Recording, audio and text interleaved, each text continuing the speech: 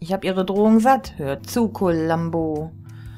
Ah, Warum gehst du nicht einfach zurück in den Kanal, aus dem du rausgekrochen bist? Ist der aus dem Kanal rausgekommen, in den ich nicht rein kann? Das wäre natürlich möglich. Okay, tut mir leid, aber ich habe jetzt meine Zeit genug mit Ihnen äh, verschwendet. Wir sehen uns dann. Oh Mann, oh. Nee, eingesperrt werden will ich aber nicht, ey. Äh, ja, Sir, d- tut mir leid. Schon besser, Kätzchen. Cool. Was haben die Glaubst du, denn ich jetzt bin hier dein zu Liebhaber oder flüstern? was? Äh, Was? Flüster mir nie wieder ins Ohr. Ja, ja, Sir. Lass dich nicht so von ihm rumschubsen. Du hast dir mehr Respekt verdient nach dem, was du für die arme Ente im Park getan hast. Ladies, bitte. Einige Leute versuchen hier noch echte Polizeiarbeit zu machen. Und könntest du mir sagen, warum zur Hölle du die Brieftasche des Toten hattest? Ja, weil er immer noch mein bester Freund war, ne? Was, wir sind Brieftaschenfreunde. Er hat sie mir gegeben, damit er nicht so viel Geld rauswirft. Ich habe sie zufällig auf dem Weg hierher gefunden. Ähm. Wir, wir sind Brieftaschenfreunde. Sie wissen schon, er hat meine, ich hab seine. Wieso hat er dann deine nicht? Hat er nicht? Dann hat er mich all die Jahre betrogen. Ah, das ist mit Abstand das Dümmste, was du heute gesagt hast. Naja, also. Dann hätten sie einfach früher mit mir rumhängen sollen. Okay, äh, dann habe ich sie zufällig gefunden. Ich habe sie zufällig auf dem Weg hierher gefunden. Oh, tut mir leid. So gelassen wie deine Miene ist, erwartest du wohl, dass ich dir das abkaufe? Jesus, Junge. Glaubst du, du hast hier immer noch Murray vor dir? Du kapierst es scheinbar nicht. Die Tatsache, dass du sonst mit Idioten sprichst, macht mich leider nicht zu einem. Also, wenn es dir nichts ausmacht, sag mir doch bitte, was verfickt nochmal machst du mit der Brieftasche des toten Typen hier? Mein Gott, habe ich doch schon gesagt. Ich habe sie auf der Straße gefunden. Und solange sie nicht das Gegenteil beweisen können, müssen sie es wohl leider glauben. Glückwunsch, Kleiner. Du hast es tatsächlich geschafft, dass ich die Schnauze voll hab von deiner Visage. Fürs Erste. Tja, haben Sie was dagegen, wenn ich mir jetzt mal den Abschiedsbrief ansehe? Ich hab nichts dagegen, deine Angst zu riechen, wenn es das ist, was du meinst. Ähm, Entspann dich, Junge. Dein Name steht drin, also hast du das Recht, den Brief zu lesen. Man könnte sagen, es war der letzte Wille des armen Bastards.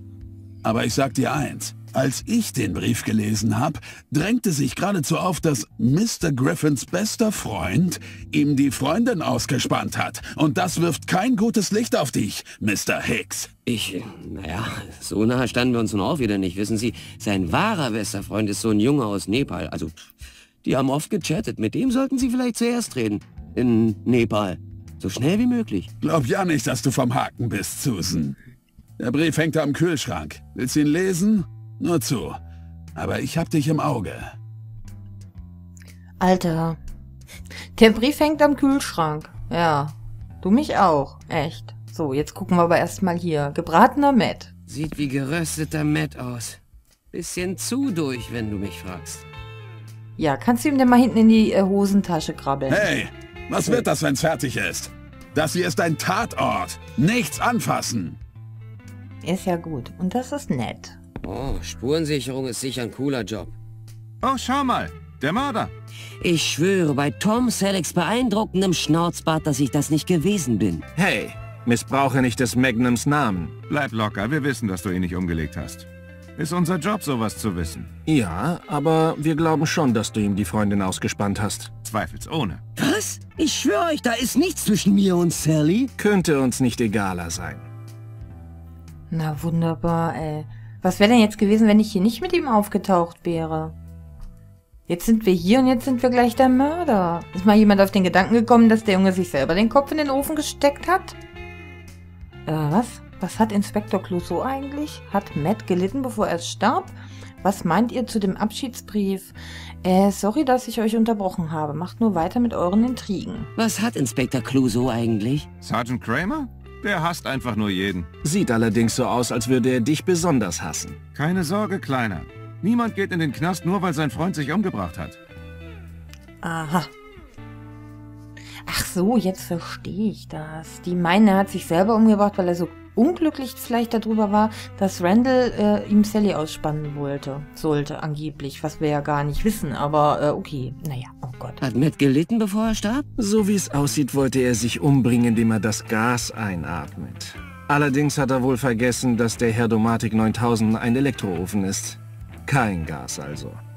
Und ja, dadurch hat er unglaublich gelitten, als das Ding explodiert ist und buchstäblich seine Organe pulverisiert hat. Dieses Modell hat einen typischen Verarbeitungsfehler. Wenn man zu viel Gewicht bei voller Leistung reinschiebt, kommt es zu unkontrollierten Stromstößen. Wenn nicht sogar zur Explosion. Ja, aber abgesehen davon ist es ein tolles Gerät. Richtig eingesetzt kann es einen Ochsen in nur 20 Sekunden gar kochen. Schau dir mal die Textur vom Fleisch deines Freundes an. Siehst du? Perfektion. Außen knusprig, innen saftig. Wie eine gute Peking-Ente. Oh, da fällt mir ein. Heute Abend Chinesisch? Zweimal hintereinander? Wie wär's mit dem Thailänder in der McCracken Street? Passt schon. Von mir aus Thai, Japaner oder Koreanisch. Ist für mich immer noch Chinesisch genug. Ich bestell sowieso Nudeln und Hühnchencurry. Ist also relativ egal, wo wir hingehen. Und nein, ich werde mir nicht die Textur meines Freundes anschauen. Gut durchgebraten. Was meint ihr zu dem Abschiedsbrief? Was soll ich sagen?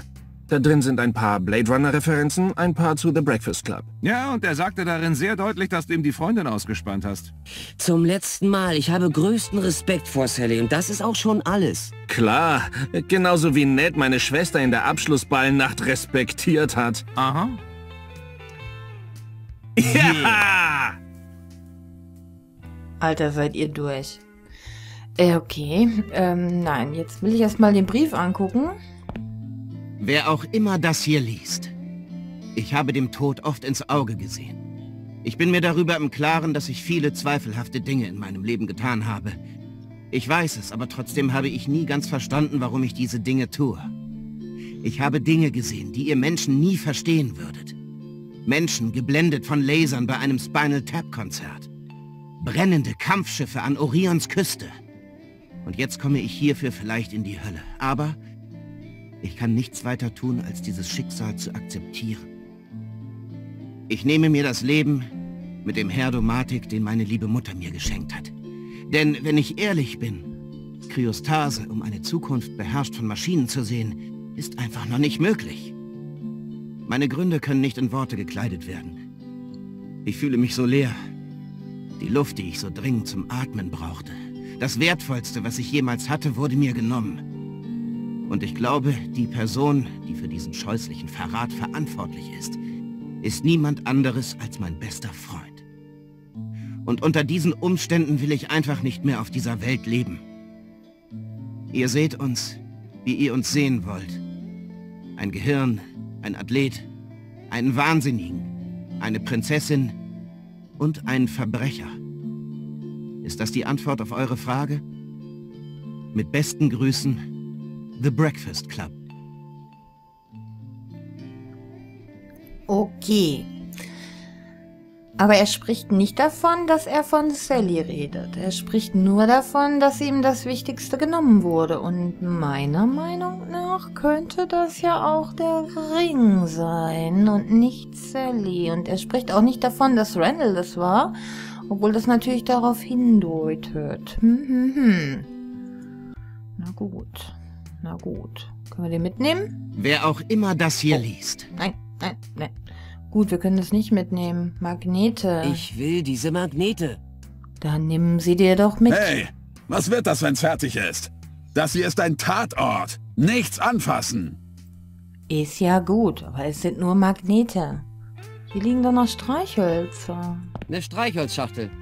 Könnte ich sicher noch gebrauchen. Ja, kannst du die mitnehmen? Hey, was Hm. wird das, wenn's fertig Ja, ist ja gut. Also der Typ muss hier raus. Der Typ muss hier raus. Kühlschrank. Der Kühlschrank ist besser als meiner. Was so ziemlich für jeden Kühlschrank gilt. Kannst du den wenigstens aufmachen? Hey, was Hm. wird das? Gut, wir können auch nicht mal den äh, Kühlschrank aufmachen. Das ist ja nicht so viel. Aber wir könnten noch mit Ted reden. Der hat noch kein einziges Tatortfoto gemacht.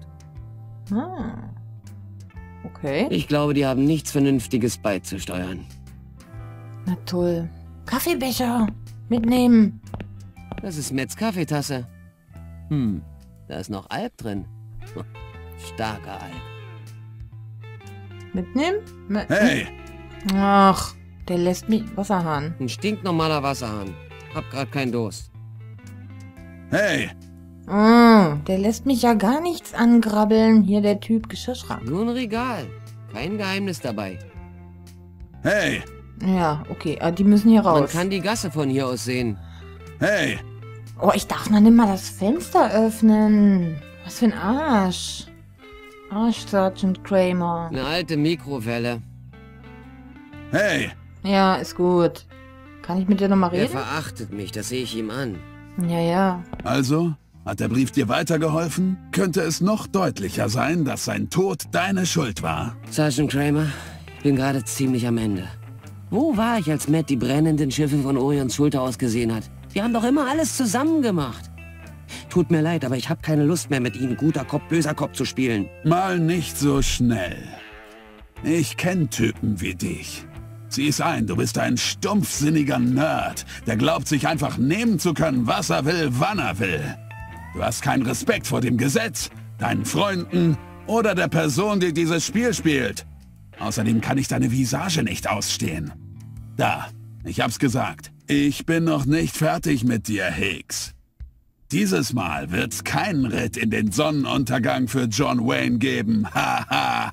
Schon gar nicht mit Grace Kelly. Das war Gary Cooper, du Arschloch. Treib's nicht zu weit, Susan. Hast du schon mal mit dem Teufel im fahlen Mondlicht getanzt? Nein, aber das eine Mal im Ferienlager habe ich mir eine Flöte in mein... Okay, das reicht.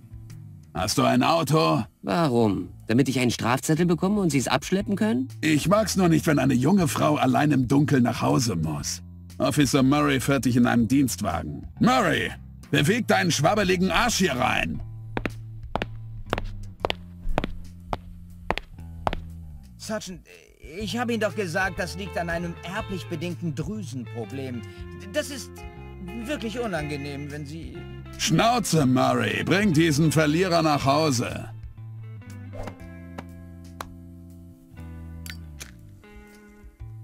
Ah, äh, ja, Sir. Und nimm die Freundin von dem toten Kerl gleich mit. Miss...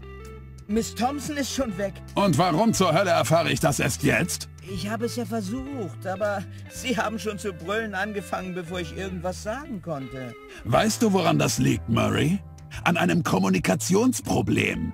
Und ich glaube, der einzige Weg, das zu richten, ist, wenn ich deine Scheißstimme nie wieder hören muss. Also wirst du von jetzt an alles, was du mir sagen musst, aufschreiben. Verstanden? Also raus hier und nimm den Jungen mit. Ja, Sir. Was hab ich gerade gesagt?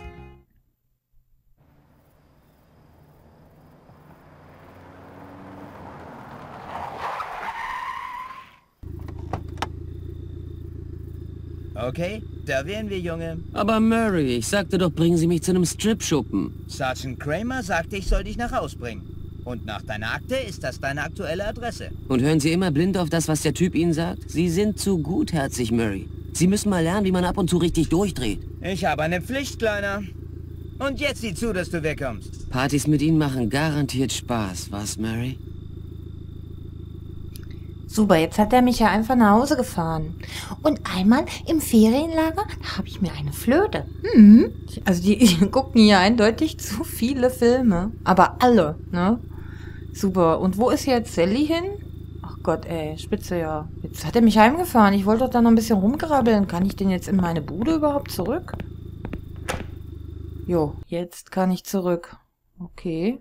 Aufzug. Keine Ahnung warum, aber der Fahrstuhl scheint mir nicht ganz sicher. Okay, ähm, ich wollte eigentlich doch noch meine äh, Miete bezahlen. Wie sieht's denn Die damit Wohnung aus? vom Nachbarn. Bin sicher, dass es da ziemlich stinkt. ja, das macht ja nichts. Können wir da rein? Ich gehe Leuten nicht gern auf die Nerven, okay? Ich habe im Moment keinen Bock. Oder wohnt der da gar nicht, der äh, Malkoni? Da geht's zum Dach. Lieber nicht. Warum nicht? Straße, Aufzug, geht nicht. Okay, gehen wir mal in die Bude. So, dann sind wir wieder zu Hause. Na, das war ja ein Schreck. Der beste Kumpel ist tot und steckt mit dem Kopf im Herd, im Elektroherd. Wunderbar. Ja, Pizzaschachteln ist klar. Was soll ich denn jetzt genau machen? Mortimer, Badezimmer, hm, ja. Was habe ich im äh, Inventar alles drinne? Feuer... Oh Gott, Feuerlöscher. Der Feuerlöscher. Hm, ja, Haufen Zeug. Womit ich aber immer noch gar nicht so richtig weiß, was ich damit anfangen soll. Na gut, ihr Lieben, dann mache ich jetzt erstmal Schluss mit der Aufnahme und wir gucken, wie es beim nächsten Mal hier weitergeht. Äh, vor allen Dingen frage ich mich jetzt, wo, wo Sally ist. Mit der würde ich ja ganz gern jetzt nochmal sprechen. Na gut, ihr Lieben, also bis dahin, eure Trin.